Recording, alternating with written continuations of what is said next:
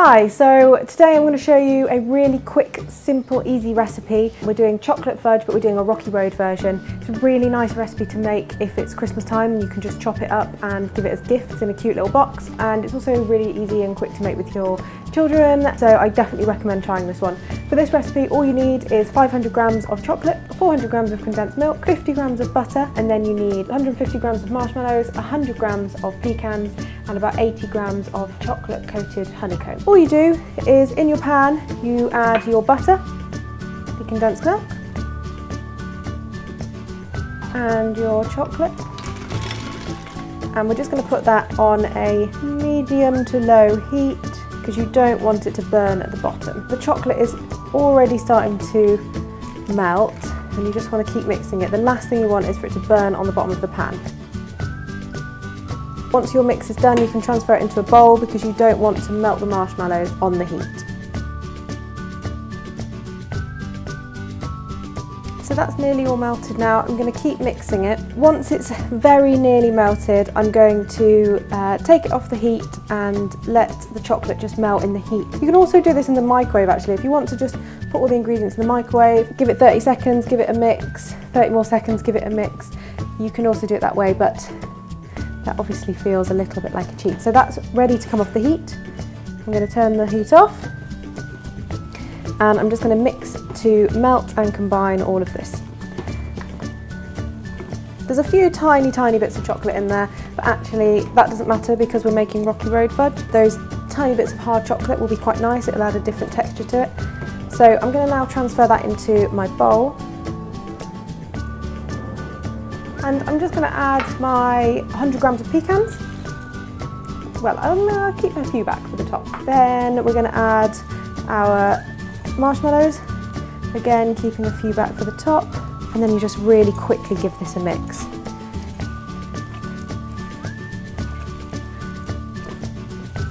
Making sure that you don't over-mix it because the marshmallows will just melt and they'll go stringy. So I've got a tin here and this is like a reusable baking sheet but you can just use greaseproof paper. I'm just going to pour the mix on top of that. Then you want to make it really flat um, and dense just like fudge would be so you just want to push down getting into the, all the edges.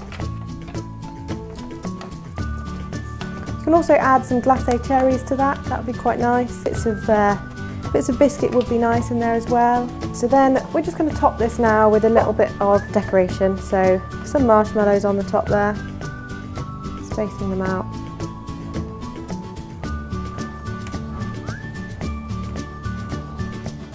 And then the best bit, this is the honeycomb. I'm going to take a chopping board. I'm now going to take some honeycomb and I'm going to put it in this food bag and we're going to just crush it up so that you can actually see the honeycomb. Then ideally you'd have a rolling pin, but we're just going to use this uh, salad spoon and you just want to crush up that so that you can see the actual honeycomb inside those. You could use a um, like a honeycomb chocolate bar, that would work just as well. Now I'm just going to use that and then just sprinkle that on top. It's really rustic, really homemade recipe this. Um, but it does honestly make the cutest little gift if you've got some nice gift boxes. Chopped it up, put it inside. I'm just going to whack that in the fridge now to set a little bit. I'm just going to push these down a little bit more as well, make sure they're stuck. And then I'm going to take it out and chop it and show you what it looks like inside.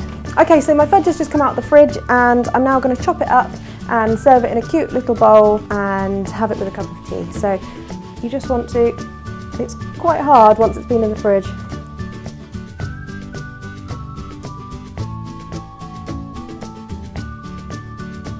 So I've chopped all my fudge um, and they're in perfect, maybe two bite-sized pieces. Um, if I just show you one. So you've got all of the delicious fillings in there, marshmallow, there's some pecan nuts, butterscotch is on top. So what I'm going to do is, like I said, if you want to give this as a gift, just get a cute little box, some tissue paper. If you're serving it at home, cute little bowl, maybe some cute little paper bits in there, and then just completely fill your bowl with the delicious fudge. And people will think this has taken you a long time over a hot stove, but actually it's a super quick and easy recipe. There you go, there you have it. There's my super quick and easy Rocky Road fudge. Don't forget if you make this at home to upload your pictures and use the hashtag baking with Alana. I'd really love to see your creations. If you put different things in, I'd love to see that. Let me know what you've put in yours. And also don't forget to like and subscribe to our YouTube channels. And that's it. Have a good day. Okay, bye.